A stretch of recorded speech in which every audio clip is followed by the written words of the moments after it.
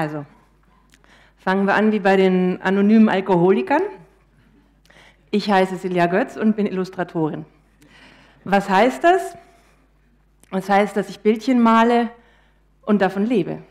Und das Bildchenmalen geht ganz einfach, das davon leben nicht ganz so einfach. Und davon will ich jetzt berichten. Wie ging alles los? Wie bei euch allen wahrscheinlich, die ihr was Kreatives macht, man malt viel als Kind und die Eltern finden es dann ganz toll. Ähm, alle Eltern finden es toll, wenn Kinder was malen, aber nicht alle äh, Kinder glauben das. Ich aber schon. Und seitdem tue ich nichts anderes, als wieder diese Begeisterung von meinen Eltern zu suchen mit allem, was ich tue. Aber es wird immer schwieriger. Ähm, aber ähm, es ging weiter mit vier Jahren Gefängnis, äh, mit der Georg Simon Ohm Fachhochschule, nicht mit Gefängnis. Äh, der Architekt ist, glaube ich, vorher anderweitig beschäftigt gewesen. Ähm, und es sieht schlimm aus, aber es war es eigentlich gar nicht. Ich habe inzwischen festgestellt, dass ich eigentlich fast alles, was ich da gelernt habe, brauchen konnte. Ähm, denn das war eine ganz interessante Zeit eigentlich, nämlich die, der Übergang vom ähm, analogen zum digitalen. Äh, wir hatten ein paar Professoren, die meinten, wir können jetzt eigentlich alles Papier verbrennen. Und wir hatten andere Professoren, die sich heimlich verzweifelt fragten, wo man den Computer überhaupt anschaltet. Und wir ähm, Studenten waren da in der Mitte drin und ich meinerseits wollte mich eben in Illustrationen spezialisieren und habe überlegt, wie ich es schaffen kann, diese schmutzige, schöne, analoge, haptische Welt zusammenzubringen mit der glatten, cleanen, technischen, digitalen. Und ähm, ich werde jetzt etwas tun, was ich normalerweise niemals tun würde. Ich zeige ein paar Studienarbeiten. Ich möchte, dass jetzt alle Kameras ausgeschaltet werden und es nicht getwittert wird. Ähm, wir haben hier eine meiner ersten Arbeiten. Es ging um eine Art Märchenbuch, ein Metamärchen. Und man sieht, ähm, ich habe einen Pinsel in der Hand und habe einen schönen dicken Strich gemacht und das Ganze irgendwie mit Photoshop äh, zu einer Collage verbinden wollen. Und ähm, ich wollte damals eigentlich nur zwei Dinge. Erstens nicht kitschig sein, auf gar keinen Fall, denn das hat der Professor verboten. Und zweitens modern sein, weil das wollte ich. Und ja, hier sind noch so ein paar Prinzen und Prinzessinnen. Fürchterlich, es wird besser später. Ähm, und das war schon meine Abschlussarbeit, äh, die hieß Abenteuer des Alltags und es war ein Hörbuch zusammen mit Illustrationen. Ich habe das mit einem Radioautor gemacht, weil ich sehr gern Radio höre. Und der hat eben eine CD beigesteuert. Es gab keinen Text, aber mit CD. Und wir haben das Ganze auch äh, in 500 Stück Auflage produziert. Und dann ging es auch schon raus ins harte Leben mit dem letzten Hinweis von diesem Professor, dass äh, man von Illustration nicht leben könnte und dass es ein schönes Hobby sei. Und ähm, ich wollte ihm das nicht ganz glauben, weil in dem Moment nämlich was passierte, was er vielleicht nicht so heraus, vorausgesehen hat. Früher war ja die, in der Zeit war so ein bisschen die, am Ende noch die Illustration verdrängt worden von der Fotografie, von allen Covern, von von aus jeder Ecke bis in die Kinderbuchecke hatte sich geflüchtet und hat ein tristes Dasein in ein paar Gebrauchsanweisungen noch gefristet. Aber dann war die Illustration so lange weg vom Fenster, dass sie plötzlich wieder interessant aussah. Und manche Artdirektoren eben wieder Illustrationen ähm, gedruckt haben, sogar in Modestrecken und auf Covern und Flyern und T-Shirts. Und das fand ich natürlich spannend und ich wollte da auch hin, äh, vor allem in Magazine. Und deshalb habe ich mich am Bahnhof im Zeitschriftenladen rumgetrieben und alle, ähm, alle Adressen von äh, Zeitschriften, die auch nur eine Illustration abgedruckt haben, rausgeschrieben und den tollsten Kandidaten mein Buch geschickt und den nicht ganz so tollen, die habe ich wenigstens angerufen und um einen Mappentermin gebeten. Und ich kann es eigentlich heute nicht ganz verstehen, warum, aber ich habe wirklich Termine bekommen und ich habe dann sogar Aufträge bekommen. Und ich kann es eigentlich nur so erklären, dass die damals lieber was Lustiges als was gut gemachtes wollten oder dass sie so lange schon keinen richtigen Illustrator mehr gesehen hatten, dass sie nicht mehr wussten, wie sowas aussieht. Ähm, meine ersten Aufträge kamen zum Beispiel von ähm, so ähm, glamourösen Zeitschriften wie die Elle und die Cosmopolitan. aber die hatten natürlich auch so ein paar Bedingungen an mich. Denn ich hatte unförmige Plastiktüten Frauen im Angebot und die L und die Cosmopolitan wollten was anderes, nämlich genau das Gegenteil. Und da hieß es also, sich anpassen, weil der Markt für Plastiktütendamen war gering. Also tat ich das auch, ohne jegliche, ohne größere Skrupel, denn ein Illustrator ist ja kein freier Künstler und muss mit jeder Menge Einschränkungen leben können. Zum einen haben wir natürlich die Einschränkung, dass wir ein Format bekommen, das wir füllen müssen, einen Text dazu und vor allem einen Inhalt, den wir eben illustrieren sollen. Und illustrieren heißt für mich jedenfalls nichts anderes als einen Inhalt erklären und interessant zu machen. Die zwei Sachen, nicht mehr und nicht weniger. Und dann ist da natürlich auch noch der Kunde und sein Produkt und der hat, dieses Produkt hat ein Image und das sollte man sich vorher gut angeschaut haben, bevor man überhaupt loslegt. Und dann im allerschönsten Fall sollte der Kunde auch seine Hausaufgaben gemacht haben und vorher mal kurz geguckt haben, was der Illustrator, den er beauftragen will, eigentlich so macht und ob das überhaupt zu ihm passt. Und man denkt sich, das ist eigentlich selbstverständlich, aber es gibt auch Kunden, die rufen den Illustrator an, wie man den Klempner anruft, nämlich weil ihn irgendjemand empfohlen hat. Und die meinen dann, dass man die eierlegende und auch gedankenlesende Wollmilchsau ist. Und denen muss man dann halt sanft erklären, dass sie sich da leider geirrt haben und dass ihr Projekt eigentlich in anderen Händen besser aufgehoben wäre. Das passiert manchmal. Und dann ist dann noch das Dumme mit der Deadline. Äh, jede Illustration hat natürlich eine. Normalerweise so eine Woche, manchmal auch zweieinhalb Stunden, wenn es sich um eine Tageszeitschrift, äh, Zeitung handelt, die irgendwie gerade einen ganz neuen Auftrag reinbekommen hat, ein ganz neues Thema. Und das Einzige, was ich über die Deadline sagen kann, ist, dass man sie immer einhalten muss. Immer. Immer. Ich weiß eigentlich gar nicht, was passiert, wenn man sie nicht einhält, weil ich mich noch nie getraut habe. Aber ich glaube, es hat was mit dem Todesstern zu tun. Und manchmal fühlt sich das Ganze an, als hätte man einen halbleeren Kühlschrank und man hat die ganze Familie zum Essen eingeladen. Aber ich beschwere mich eigentlich nur ähm, halbherzig, denn in Wirklichkeit, was mir wirklich, wirklich Panik machen würde, ist die weiße Leinwand. Kein Auftrag, kein Thema, kein Kontext, kein gar nichts. Also das lässt mich nachts schweißgebadet aufwachen.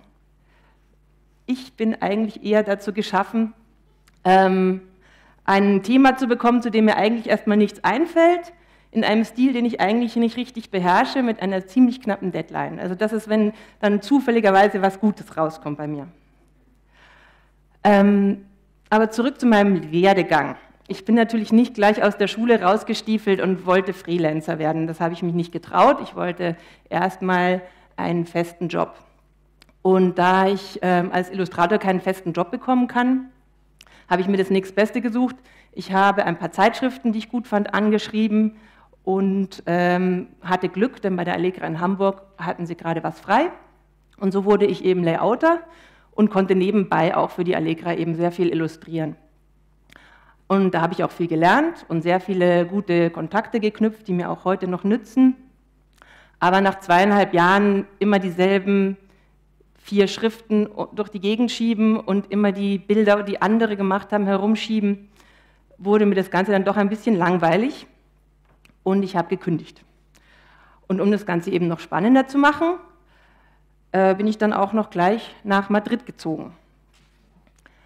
Denn nach zweieinhalb Jahren Dauerschnupfen hatte ich ein bisschen die Nase voll von Hamburg und dem Norden. Und dann dachte ich mir, außerdem habe ich keinen Erasmus bekommen damals in der Schule, das fand ich vollkommen ungerecht. Und dann dachte ich mir, jetzt oder nie, jetzt machst du noch schnell deinen Privat-Erasmus und danach kannst du dir ja immer noch wieder einen ernsthaften Job suchen. Also habe ich äh, wieder angefangen, Adressen zusammenzusuchen, ähm, E-Mails zu verschicken und blind äh, Agenturen und Zeitschriften anzurufen und bin dann eben nach Madrid gegangen. Äh, das Ganze war ein bisschen schwierig, weil mein Spanisch war alles andere als gut damals, aber ich habe zum Glück eine Agentur gefunden, eine kleine spanische Illustrationsagentur, die für mich zumindest das Terminausmachen übernommen hat und ich musste dann auch nur noch mit der Mappe hinlaufen. Denn äh, meine eigenen Telefongespräche liefen eher so ab, ähm, das war so, hola, habla inglés? No. Fertig. und ähm, ich habe also noch halbherzig versucht, einen normalen Job zu bekommen, habe es aber durch meine mangelnden Spanischkenntnisse eben nicht geschafft. Aber das Gute an Illustrationen ist, dass man sie auch herzeigen kann, ohne was zu sagen. Und so habe ich halt immer mehr kleine Aufträge bekommen und bin nolens wohlens äh, in diese Ecke abgedriftet und war dann plötzlich Illustratorin. Zusammen mit äh, Madrid, äh, München, Hamburg, Barcelona und später auch New York habe ich in dieser Zeit, in den Anfangsjahren ungefähr 100 Mappentermine erledigt.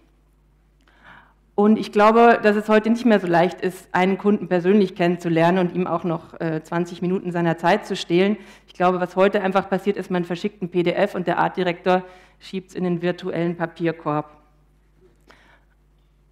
Aber damals war es eben anders und ähm, dadurch, dass es auch zum Beispiel größere Datenmengen zu verschicken, war ja damals noch ein bisschen schwieriger und hat ein bisschen lang gedauert, dann brach wieder irgendwas zusammen. Also hat man auch oft mal die CD gebrannt und persönlich vorbeigebracht. Und dann kam man zum Beispiel in Redaktionen wie die von der Vanidad, die so ein bisschen äh, meine Patenzeitschrift wurde. Und da man da schon mal da war und was abgegeben hat, dann ist man auch gleich gefragt worden, ob man bei irgendeiner ganz tollen Ausstellung mitmachen will oder ob man die Agentur schon kennt und ist man, und ist man dann ein bisschen so vermittelt worden. Also die haben mich dann so ein bisschen als Haustier adoptiert. Und das Gute der Illustration, die Illustration hat viele gute Seiten, ist zum Beispiel, dass man am Anfang eben nicht viel braucht. Man kann es auch theoretisch ähm, in der Ecke eines Zimmers machen. Man braucht nicht gleich ein Büro mieten oder irgendwelche Angestellten. Alles, was man braucht, ist das typische Handwerkszeug, das ihr alle jetzt schon habt. Was auch gut ist und nicht zu unterschätzen, als Illustrator ist man verantwortlich für ein Produkt und zwar ganz alleine. Man ist kein Teamworker. Und das heißt, man kann auch oft seinen Namen drunter setzen und das heißt, dass man auch oft gelobt wird. Und gute Resonanz ist uns ja allen wichtig, sonst wären wir nicht hier auf der Resonanzkonferenz. Ne? Und noch gut, man kann nicht gefeuert werden. Das Einzige, was passieren kann, ist, dass ein Jahr das Telefon nicht mehr klingelt und dann ist man vielleicht kein Illustrator mehr. Und was auch sehr gut ist, man hat keine Kollegen und keine Chefs. Ich kann wirklich lachen, wenn ich sowas wie die Office mir anschaue.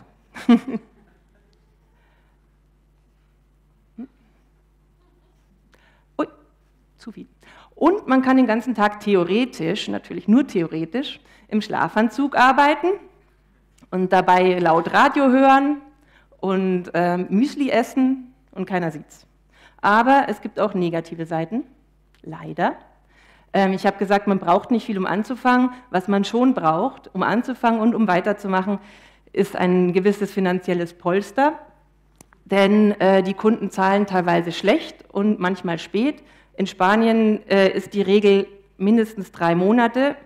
Nach drei Monaten haben alle schon vergessen, dass du jemals für sie gearbeitet hast. Da musst du sie erstmal anrufen und darauf hinweisen. Und dann dauert es nochmal einen Monat oder zwei, bis das Geld dann wirklich da ist. Und in der Zeit hast du schon die Steuern auf dem Hals. Also man sollte vorbereitet sein. Und dann gibt es natürlich die Tatsache, dass man immer zwischen zu vielen oder zu wenig Aufträgen hin und her pendelt und so ein richtig schönes ähm, Gleichgewicht hat man eigentlich selten.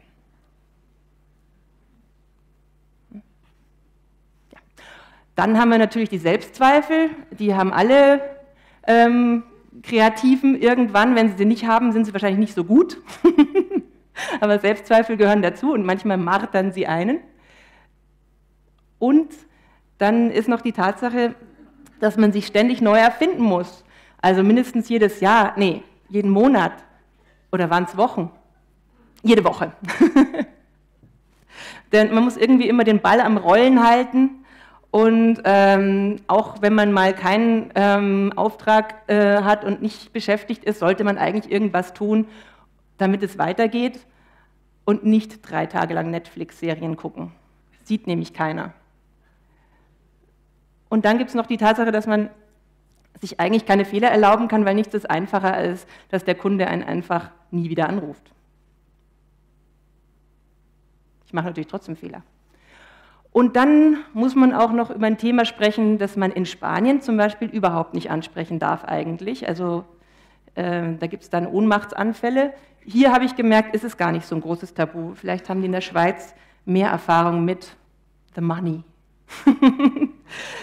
Arbeite nicht gratis. Ich finde, das sollte eigentlich selbstverständlich sein, ist es aber leider nicht in meinem Bereich. Denn von außen sieht unsere Arbeit verdächtig nach Spaß aus. Und dann gibt es immer wieder so Leute, die meinen, mit Veröffentlichung ist man eigentlich schon bezahlt genug. Aber mein Vermieter lässt sich leider nicht mit Veröffentlichungen bezahlen, sondern mit Euros. Und ähm, deshalb äh, sollte man äh, sich ein paar Mantras zulegen, um da zu überleben. Es gibt natürlich Ausnahmen. Äh, eine ist, nehmen niemals Geld von Freunden, auch für ihre Hochzeitseinladungen nicht. Zweitens, ähm, für äh, NGOs kann man auch mal gratis arbeiten, Greenpeace oder so, völlig okay. Ähm, oder für den Ausnahmekunden, der sagt, ich bin die große Superzeitschrift, äh, du darfst machen, was du möchtest, dein Name wird ähm, dreimal so groß wie das Cover gedruckt und ähm, gut, dann sagt man nicht nein, kann aber auch manchmal ein Fehler sein.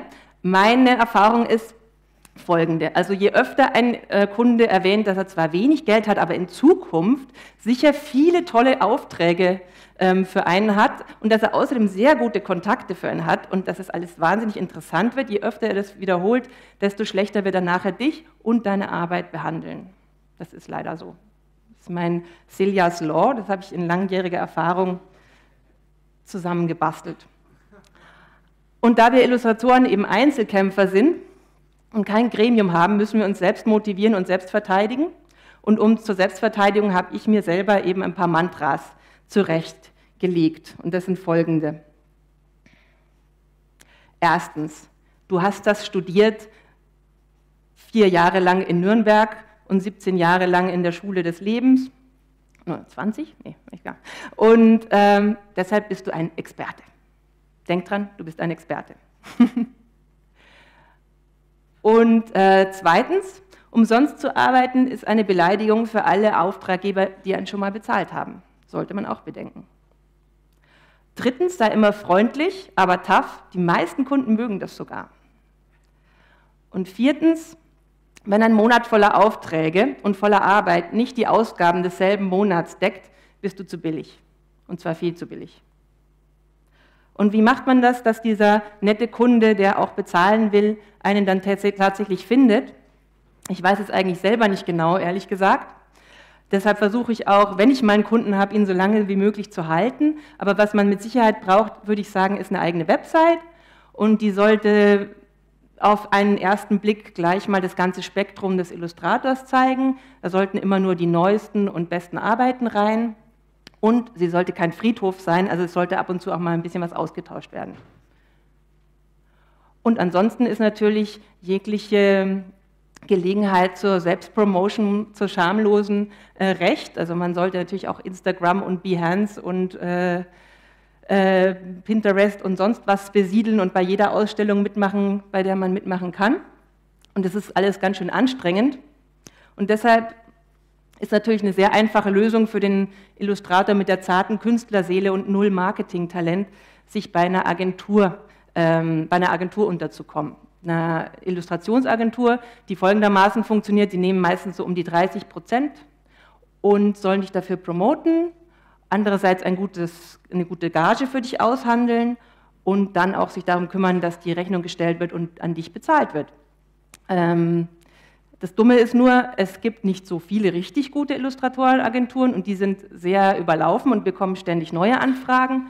Und die schlechten sind manchmal ähm, eben schlechter als gar nichts.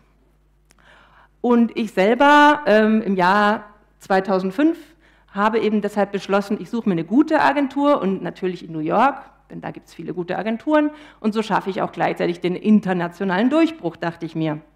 Ich hatte damit noch damals die Idee, zusammen mit einer anderen Illustratorin ähm, loszuziehen. Wir beide sind also mit unseren Mappen unterm Arm nach New York geflogen. Und es war schon mal ein großer Fehler, dass wir im Doppelpack auf, aufgetreten sind.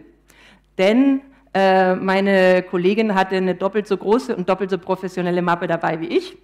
Das hat mir dann wiederum viel Gelegenheit gegeben, für sie zu übersetzen. Und ansonsten habe ich in der Zeit eigentlich nicht viel erreicht. Wir hatten auch nicht so viele Termine vorher ausgemacht, weil wir uns nicht getraut haben anzurufen. Und ähm, ich habe dann festgestellt, dass sie es in New York nicht so lustig finden, wenn man einfach mit der Mappe vor der Tür steht, unangemeldet. Also wir haben immerhin den, den Portier des New Yorkers mal gesehen, aber mehr auch nicht.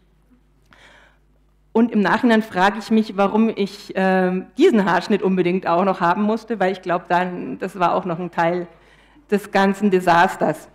Ich hatte jedenfalls keine Agentur gefunden und das Ganze hat mich erstmal ein bisschen geknickt. Aber ich habe im Nachhinein sehr viel dadurch gelernt. Das Ganze war eigentlich Gold wert. Denn ich habe feststellen müssen, dass meine Mappe voll von halbgaren Auftragsarbeiten war, mit denen ich in Madrid ganz gut durchgekommen bin und in Deutschland und wo auch immer, aber ähm, die nicht zeigte, wo ich eigentlich hin wollte. Und eine Mappe soll eigentlich immer zeigen, wo man hin will und nicht, wo man sich gerade befindet. Ähm, also habe ich mich auf meinen Hosenboden gesetzt und mehr Energie in die persönlichen Arbeiten gesteckt und auch meine Website komplett umgebaut und umgestaltet. Und äh, erst als ich wirklich, wirklich, wirklich sicher war, dass ich ähm, mich jetzt von der besten Seite zeige, der, von der ich mich eben zeigen kann, habe ich es dann doch mal wieder gemacht und habe wieder angegriffen und habe ein PDF an die ähm, Agentur meiner Wahl geschickt. Und ich wusste, ich habe nur einen Schuss, weil ähm, man kann nicht nach fünf Wochen wiederkommen und sagen, du fandst meine Sachen vor fünf Wochen nicht gut, aber hier nochmal. Also das geht nicht. Man muss es dann schon wirklich gleich richtig machen. Und es hat dann geklappt. Ohne dass ich auch nochmal nach New York reisen musste, habe ich dann eben, äh, bin ich bei der Agentur Art Department untergekommen, Illustration Division. Ähm, ich bin da unten in der Ecke. Wir sind 44. Ähm, das heißt also, eine Agentur löst auch nicht alle Probleme. Es kann auch mal sein, dass sie sich drei Monate gar nicht bei dir melden, weil sie haben 44 Illustratoren am Start und es kommt nicht immer jeden Tag ein Auftrag ausgerechnet auf dich zu. Aber es ist immerhin ein, Fortschritt. Und das Ganze hat mir, ähm, das war im Jahr 2007 und seitdem habe ich wirklich für viele Länder gearbeitet, Australien, Amerika, Japan, Frankreich, Russland sogar, Indien, ähm, natürlich Spanien, Deutschland, Österreich, Schweiz. Ähm, ich bin in ein paar Anthologien für Illustrationen untergekommen, ich habe bei Ausstellungen mitgemacht und ich habe schon lange keinen ähm, Kunden mehr mit der Mappe unterm Arm besuchen müssen. Ähm, und was das Wichtigste ist, ich kann gut davon leben inzwischen. Und was braucht man, um überhaupt Illustrator zu sein? Jetzt haben wir ständig über die Logistik geredet, aber nicht über den kreativen Teil. Ich habe eine extrem ausgefeilte äh, Infografik hergestellt, das ist meine Spezialität. Ähm, man braucht Talent. Ein äh, Hirnchirurg braucht Talent, sonst stirbt der Patient. Ein Illustrator braucht Talent, sonst passiert überhaupt nichts, außer dass er niemand anruft. Also ist eigentlich auch nicht schlimm, wenn man keins hat, aber man ist halt dann ein bisschen beschäftigungslos. Und das Gute am Illustrieren ist, ähm, wer sehr gut zeichnen kann, braucht vielleicht nicht so gute Ideen und wer nicht so gut zeichnen kann, kann es wieder mit sehr guten Ideen ausgleichen. Ne? Und natürlich macht Übung den Meister. Hier ein paar Tipps, falls ihr alle mal, falls ihr selbst Illustratoren werden wollt. Also man sollte viel, viel zeichnen, ist ja klar. Und man sollte lernen zu sehen. Und zwar nicht nur den Bildschirm anschauen, sondern die dreidimensionale Welt wieder in die zweidimensionale Welt überführen. Und das heißt, ähm, auch mal die eigenen Füße zeichnen, die, das äh, Skizzenbuch mit auf Reisen nehmen und zeichnen, zeichnen, zeichnen. Und ich empfehle dazu, billiges Papier zu nehmen. Ähm, so ist es auch nicht schlimm, wenn man Fehler macht, denn Fehler machen ist unheimlich wichtig, um überhaupt irgendwo hinzukommen. Also keine Angst vor Fehlern.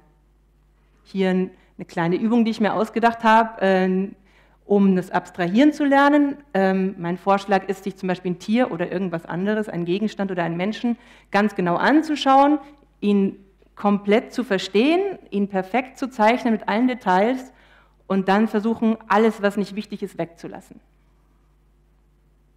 Ähm, ein anderer Tipp von mir, ähm, lerne dein Umfeld kennen und vergleiche dich mit den Großen, mit den Allergrößten und den Besten und versuche nicht daran zu verzweifeln, und wenn du meinst, passt schon, ich bin ja auch so toll, dann bist du entweder richtig toll oder du hast überhaupt nichts verstanden.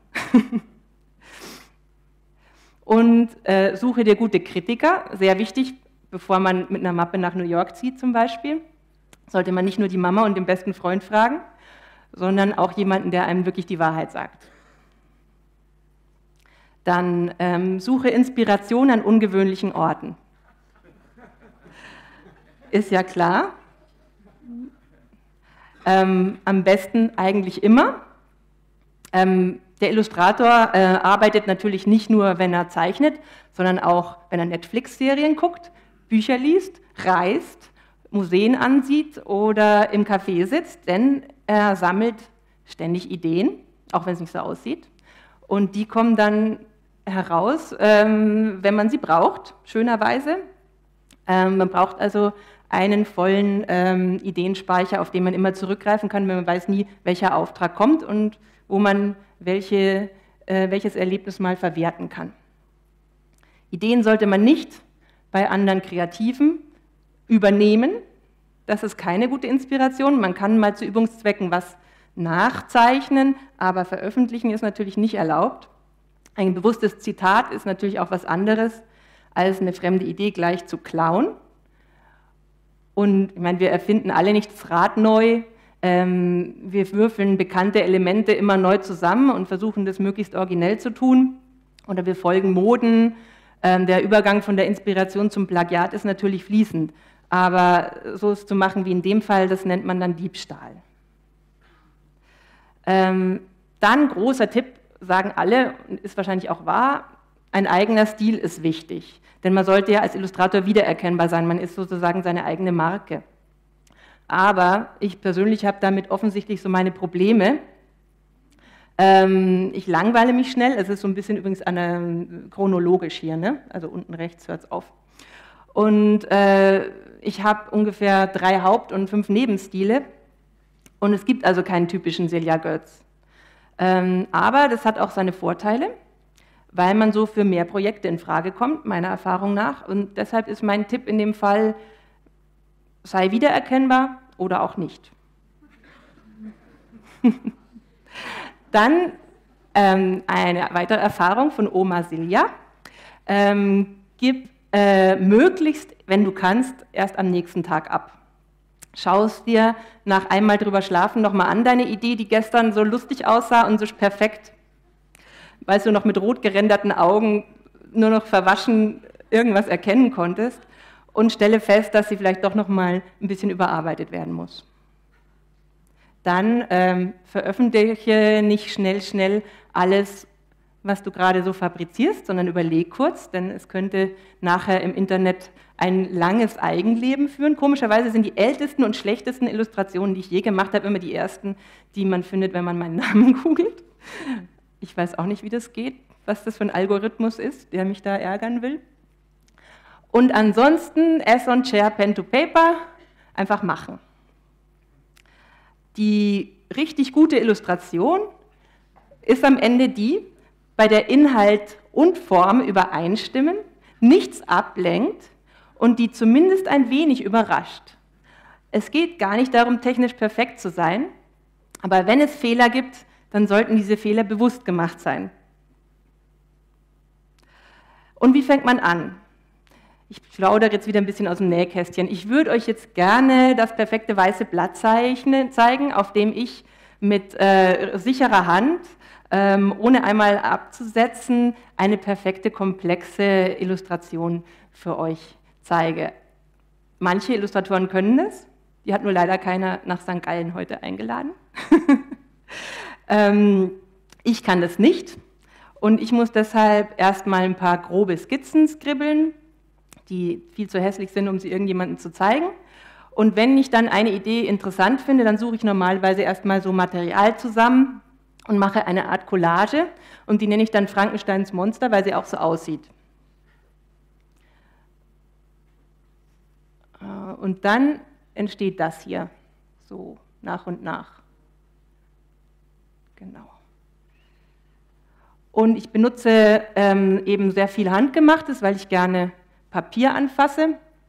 Und deshalb scanne ich sehr viele kleine Stückchen ein, die ich nachher dann eben auf dem Bildschirm herumschieben kann. Denn leider habe ich Kunden, die zwar meine Arbeit vielleicht ganz gut finden, aber dann sagen, ähm, gefällt uns, aber mach doch mal das eine größer und das andere kleiner. Und das geht natürlich nicht, wenn man die ganze perfekte Illustration schon aufgeklebt hat.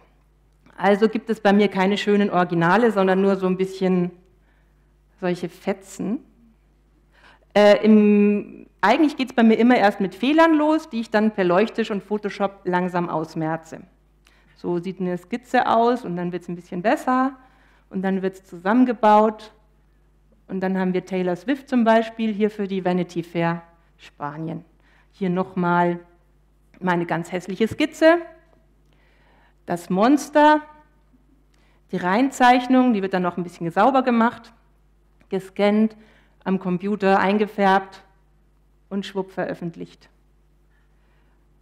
Und hier habe ich zum Beispiel mal ähm, ein bisschen mehr gearbeitet. Da wollte ich es dann doch mal wirklich per Hand machen, habe mir also die Skizze von meinem Auftraggeber erstmal absichern lassen und habe das Ganze dann als Modell gebastelt. Es geht um ein Buch über den Verdauungskanal und ich wollte eben diese, dieses Loch wirklich haptisch auch mal machen und habe das dann auch wirklich alles ausgeschnitten und montiert und fotografiert. Ich hätte es auch genauso gut in Photoshop hintricksen können und keiner hätte es gemerkt, aber es hätte natürlich nicht so viel Spaß gemacht. Und dann ist dann noch der Prozess mit dem Art Director, mit dem es so eine Art Ping-Pong-Spiel im besten Falle gibt. Ähm, nicht alle Art Direktoren sind so ähm, picky, dass sie, ständig, dass sie 15 Mal äh, Änderungen wollen, aber hier ging es um den New Yorker und der New Yorker ist schon picky und macht gerne mal 15 Änderungsrunden. Das ist die erste Skizze, es ging um eine Kurzgeschichte. Ähm, wie ihr seht, ist das alles noch ein bisschen unausgereift, aber so habe ich es ihm schon mal gezeigt. Und dann meinte er, ja, mach doch mal die kleine groß und die große klein und das Ganze dunkler. Und dann hat er es gesehen und meinte, nee, nee, die andere wieder groß und die, an, und die erste klein und aus dem Blau. Und dann war es ihm zu wenig, mach noch ein paar Sternchen dran. Und die kleine blau und dann den Hintergrund doch nochmal anders und die Sternchen wieder weg und die Kleine wieder rot. Und irgendwas hat ihm immer noch nicht gepasst.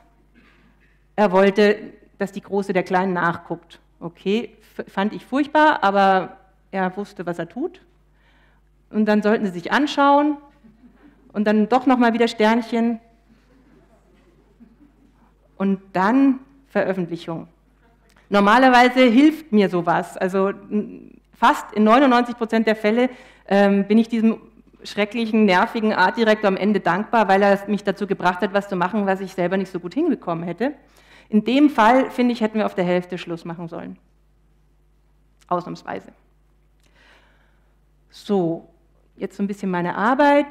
Ähm, hier haben wir meinen längsten und treuesten Kunden, ähm, Estrella Damm, eine Brauerei aus Barcelona. Und äh, bei Werbung geht es natürlich auch nicht nur darum, dass man ähm, die Illustration selbst 15 äh, Mal ändern muss, sondern nachher, wenn man sie dann fertig hat, muss man sie auch auf sämtlichen Formaten durchspielen und nicht jede Illustration kann man so mal lockerflockig in ein Quer-, Hoch- und Rundformat ähm, pressen.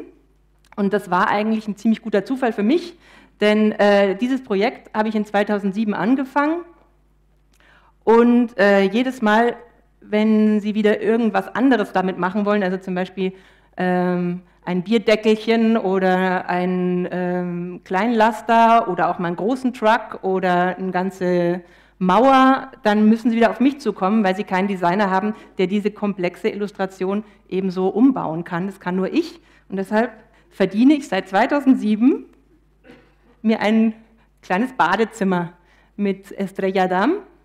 Äh, das Ganze wurde benutzt in der Ukraine, in Chile, in Kuba, in Peru, Kanada, Florida, Australien, Malta, Ibiza, London, New York, Zypern und Irland und es gibt immer noch kein Ende.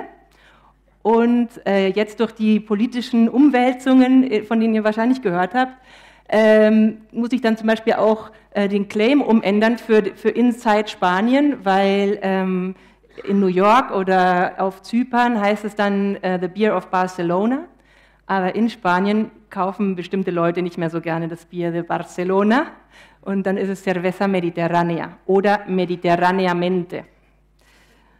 Also viel Arbeit für mich. Und dann gab es noch den ähm, MeToo-Klienten, der dann das gesehen hat und gut fand und mich angerufen hat und das Ganze in Milch haben wollte. das war eine sardinische Milch und ähm, habe ich gern gemacht. Sich selbst darf man ja ähm, kopieren, hoffe ich. Ähm, wenn ich selber äh, persönliche Arbeiten mache, dadurch, dass ich die weiße äh, Seite hasse und eigentlich äh, immer ein Thema brauche, suche ich mir dann eben meistens ein Thema, zum Beispiel aus der griechischen Mythologie, wie hier, oder Pandora zum Beispiel. Oder hier haben wir die, die äh, ägyptische Göttin Nut oder Apoll und die Python oder das, die Geschichte vom Hellespont oder die Aphrodite oder hier ein Mädchen, das mit ihren Beinen nicht zufrieden ist. Und manchmal führen diese persönlichen Arbeiten dann wieder zu irgendeinem Auftrag oder werden direkt gekauft, also nichts ist umsonst. Ähm, hier haben wir ein paar Arbeiten für eine Modewebsite.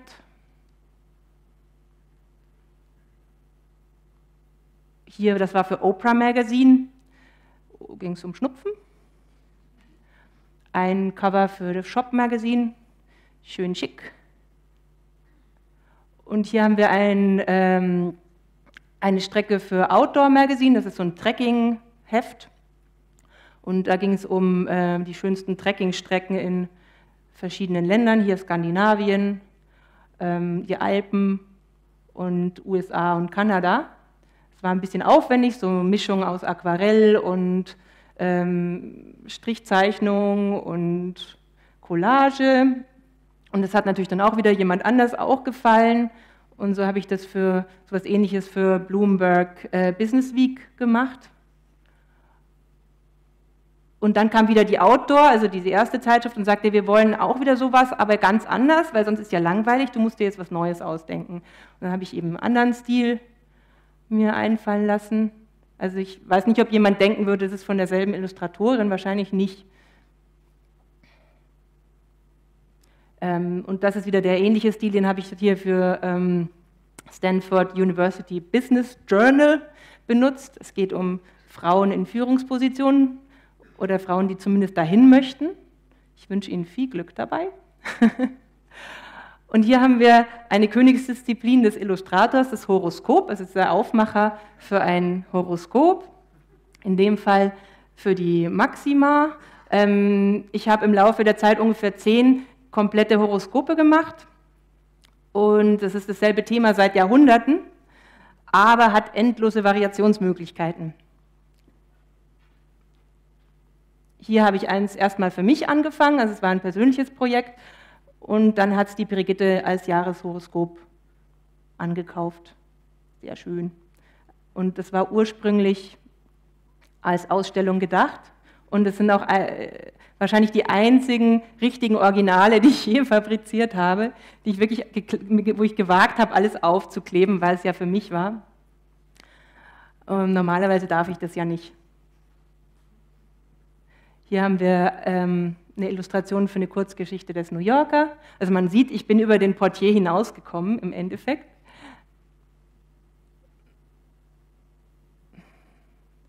Das ist meine Lieblingsillustration, auch für eine Kurzgeschichte für den New Yorker.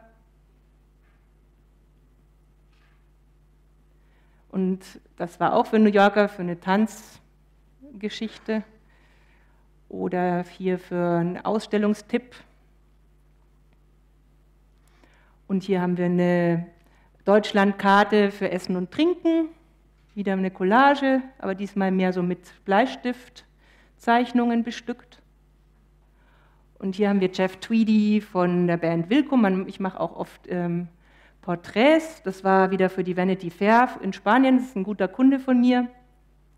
Für die mache ich recht viel. Die ist auch für die Vanity Fair in Spanien. Da ging es um Tageszeiten. Und so Zeitschriften wie die Vanity Fair ähm, leben natürlich von Anzeigenkunden.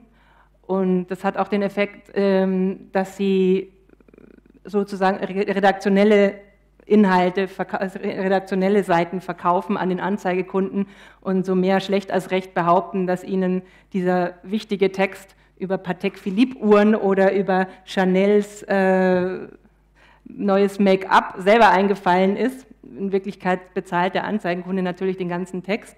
Und dann brauchen Sie immer den Illustrator, der, das dann, der dann mithilft, dass das Ganze so aussieht, als wäre es keine Anzeige. Und das bin dann ich. Und es klingt schrecklich, ist es aber eigentlich im Endeffekt für mich gar nicht, weil da kommen so absurde ähm, Zusammenhänge dann irgendwie raus. Ich, ich würde nie auf die Idee kommen, einen chinesischen Drachen mit Handys in der Hand zu malen, aber durch den Anzeigenkunden kommt es dann raus und das sieht dann, wenn man den Text weglässt, irgendwann aus wie freie Kunst.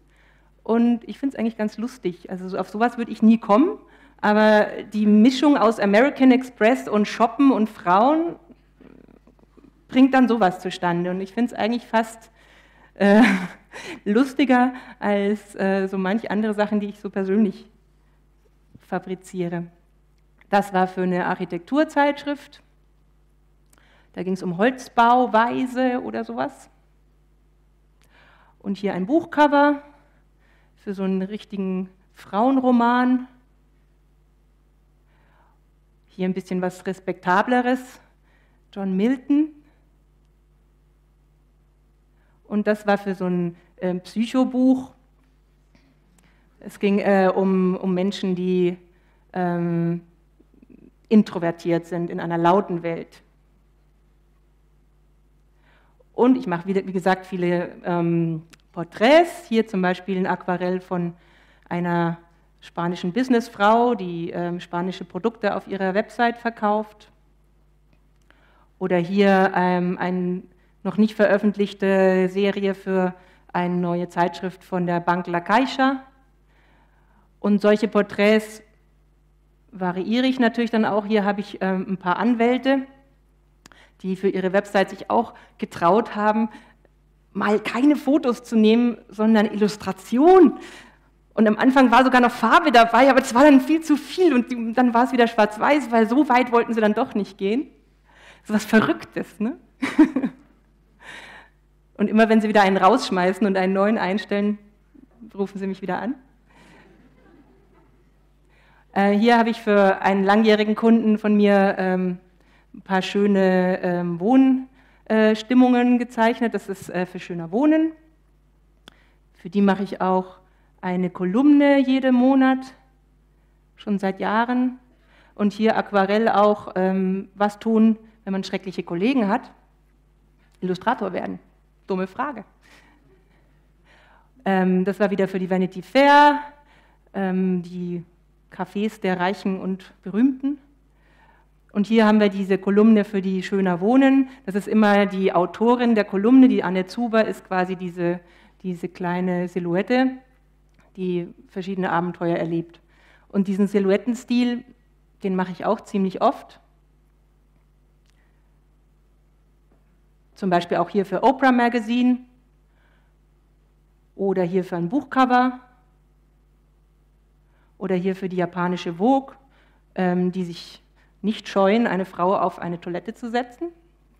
Da denkt man immer, die Japaner sind so verklemmt. Oder hier für die Vanity Fair wieder. Oder hier mal für ein Raumspray. Das war auch für diese ja, so Raumkristalle, die irgendwas Duftiges bringen sollen. Oder hier wieder ein Buchcover über wie die arabisch, wie die, wie die Geschichten von Tausend und einer Nacht in den Westen kamen. Und hier haben wir ähm, zu guter Letzt noch ein letztes für Oprah, was auch wieder diesen Silhouettenstil hat. Und da ging es um Finde dein wahres Selbst. Das war auch so eine Strecke ich hoffe, dass meine Arbeit bei euch gute Resonanz gefunden hat und danke fürs Zuhören und vor allem fürs Zuschauen.